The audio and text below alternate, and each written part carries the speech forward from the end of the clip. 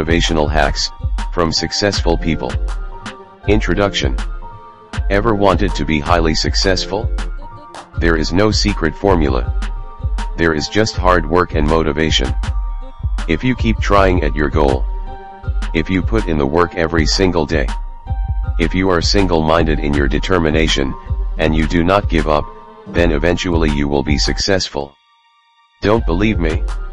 In a moment, when you have read the inspiring advice, from the motivators below, then you will. These incredible individuals stand as pillars of success, ingenuity, and determination. But at the same time, they also show us that the path to success is not so special, that they used, normal techniques, and that they faced, many of the same challenges we do. Learn from them, and you can achieve beyond your wildest dreams too. 1. Have a singular goal, Arnold Schwarzenegger. Arnold Schwarzenegger, is undoubtedly one of the most successful people on the planet. Not only did Arnie get, into incredible shape, and build a huge amount of muscle, but he also managed to become, the highest paid movie actor of his time, and the governor of LA. That's all pretty impressive for a guy, who grew up in a rural village in Austria, and who had a thick accent to contend with. How did he do it? Simple, he worked extremely hard. Arnie recalls how he would train for hours at a time, run businesses, and simultaneously work on his English at night school. He was able to do all this for one reason and one reason alone, because he had a single goal, that he was absolutely passionate about. He said that every grueling rep was worth it because he knew that at the end of each one, he would be a step closer to his end goal. With every single curl and press, he was closer to becoming Mr. Olympia. To practice the same kick 1000 times, Bruce Lee. Bruce Lee said, that he doesn't fear the man who practices 1000 different kicks once. Bruce Lee feared the man who practiced one kick a thousand times. In other words, Bruce Lee feared, or respected at least, mastery. Bruce was enamored with those, who had honed and perfected their technique through countless hours of rigorous practice.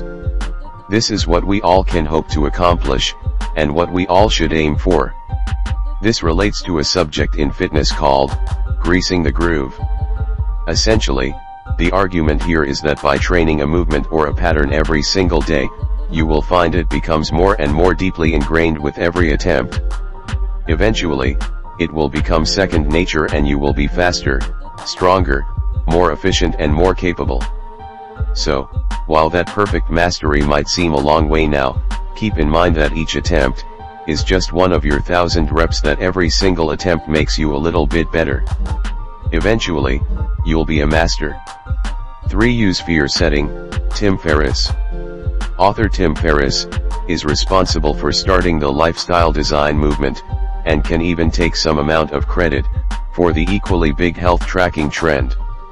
Tim's books have all reached the bestseller lists, he has worked with some of the most successful people on the planet, he has run multiple businesses, and he also has a huge podcast.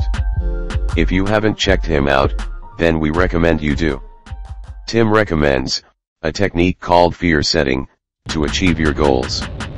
The idea is that, many of us fail to make progress because we're scared of failure. You might not apply for other jobs because you're scared of what leaving your current work might mean. You may not speak to an attractive member of the opposite sex because you're too scared of rejection. But here is the thing, most of us fail to ever define precisely what we're afraid of. As a result of this, we end up blowing those fears out of all proportion and becoming frozen in fright. By taking a moment, to write down precisely what it is you are scared of, you will often realize that your fears really aren't all that bad and that you're perhaps overreacting.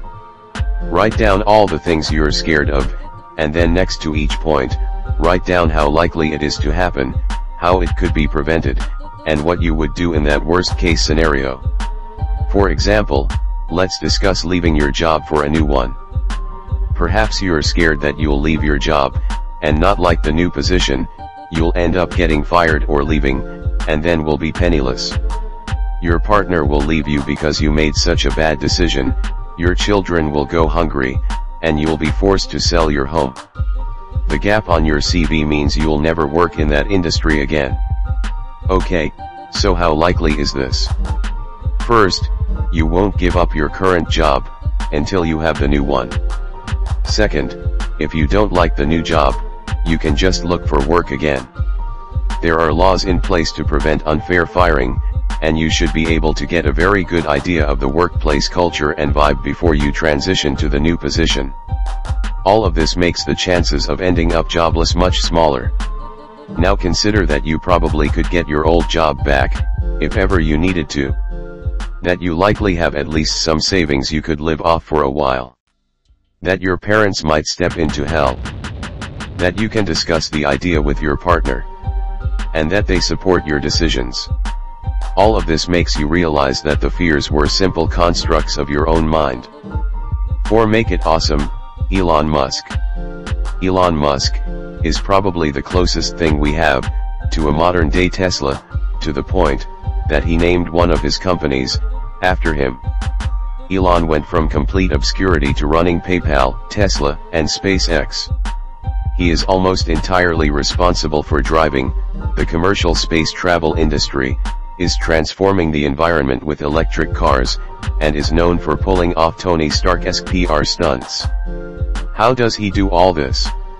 Simple, Elon Musk clearly loves being the guy to introduce the world to science fiction ideas. He has spoken before about how he dislikes boring businesses. As such, he has chased after his biggest goals and ambitions. Simply by doing this, he has been more successful. That's true because he loves what he is doing, and feels motivated to wake up every day. But it's also true because such big lofty goals actually motivate other people better too. They are memorable, they garner media attention. So, don't have small goals. Make it awesome and go for broke. 5. Let it come, Einstein. Einstein, is just one example of a great thinker who had his epiphany while relaxing.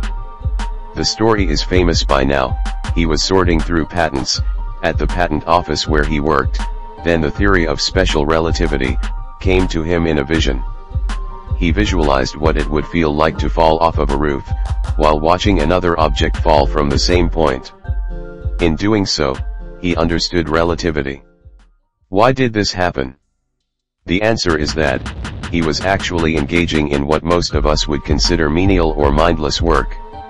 When we do this, it activates a network of brain regions known collectively as the default mode network. The reason this is important, is that this network is responsible for creativity, imagination, and daydreaming. 6. Don't be afraid, to promote yourself, Ali. Ali, was the greatest of all time, and he had no qualms about letting you know it. He was constantly running his mouth off to his competitors, to the press, and to anyone who would listen. This might make it seem as though he had a big ego, but in fact, he was just being honest about what he believed.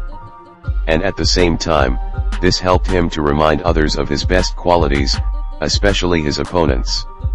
We've all been brought up, to be humble and shy about our accomplishments. But if you notice, most of the most successful people in the world actually like talking about just how successful they really are. It's no coincidence. 7. It ain't about how hard you hit, Sylvester Stallone.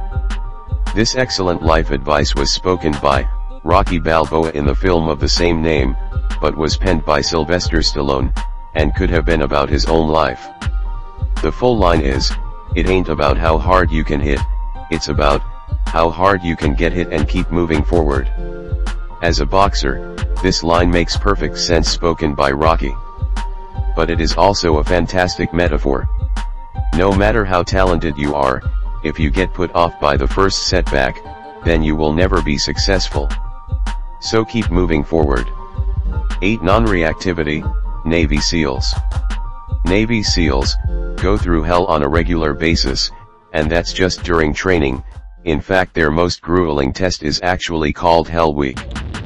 They do this, in order to prepare their bodies, and minds for the kinds of situations they will need to perform in, when they are actually fighting wars. So how do they cope? One of the tools they use is, a mental trick called non-reactivity. That means simply choosing not to react to bad news, stress, anxiety, or setbacks. This has a lot in common with the school of thought known as Stoicism. It basically means that while you can't prevent bad things happening, you can prevent yourself being upset about them. Notice what has happened, and move on. You can worry about it later. 9. You only need to be successful once, J.K. Rowling. J.K. Rowling has one of those classic successful stories of being turned down, by just about every single publisher, before finally getting a book deal. This was good news for her and for the publisher, as the Harry Potter series went on to make more money than anyone could have predicted. This is a testament to Rowling's determination and self-belief, things we have already discussed at this point. But it also reminds us of one other fact, that you only need to be successful once. This is why hard work and determination are so important. Because the more you keep trying, the more you stack the odds in your favor. If you sell enough products then one will eventually be a massive hit. If you ask enough people, then someone will eventually say yes. 10 Be the last to get off, the treadmill, Will Smith. Will Smith, is another actor whose success seems astronomical. After starting his career acting in a sitcom, Will went on to become one of the highest paying blockbuster actors in Hollywood. He took on dramatic roles as well as bigger roles, and he had many other successes in music and business along the way. What's his secret? Will puts it down to staying on the treadmill longest. He doesn't believe he's the most talented, but he says he will not stop putting in the hard work until he has done the absolute most he possibly can do. Thus, when everyone else has long gone home and given up the ghost, he is still churning away and pumping out work. That ensures that he stands out, and it gives him a huge competitive advantage over everybody else.